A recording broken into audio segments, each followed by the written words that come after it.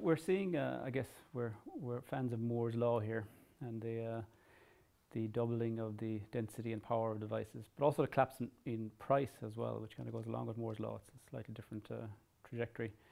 But we're seeing incredible power in the computing equipment. And we're seeing um, non-traditional equipment becoming proliferating uh, in a whole range of industries. So we talk a lot about the home automation industry or maybe the health and fitness. But in Waterford we have a strong link to agriculture. We're seeing um, low cost devices and sensors on the farm, in the fields and in the milking parlours. And we're seeing vast amounts of data being generated with this type of, uh, these type of sensors and this type of data gathering.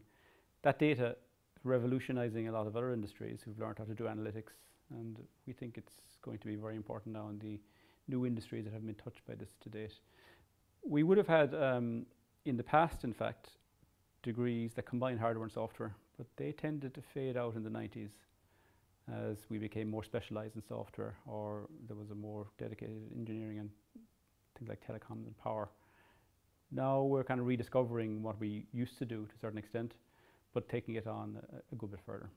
So our particular program, it's dominated by software, very um, cutting edge software skills, but uh, a very carefully selected slice of electronics, maybe about a third of the course, particularly on digital and analog aspects of control, sensor design, and um, the general context in which uh, communications takes place in, at the physical layer.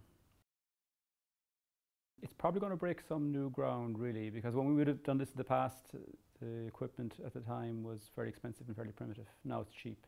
Now we can we can have a fantastic lab at almost no cost, which is extraordinary. We're expecting students to invest in their own equipment um, maybe as an alternative to what they would have spent in the past on textbooks, which are now, because of open source movements, largely free. So they can build a portfolio of their own connected world and graduate with that portfolio. So they can demonstrate their entire suite of very innovative distributed software applications running on gadgets they own and that they can maybe have built and certainly applications they would have possibly been pioneers in by the time they graduate. We're seeing all the big multinationals that we deal with have interesting strategies. So we would see there's a big demand from you know the usual suspects, for in Intel, Cisco, uh, IBM, very big presence in it, uh, Tyco, a very big company in Cork that's taking, uh, actually looking exactly for this kind of skill.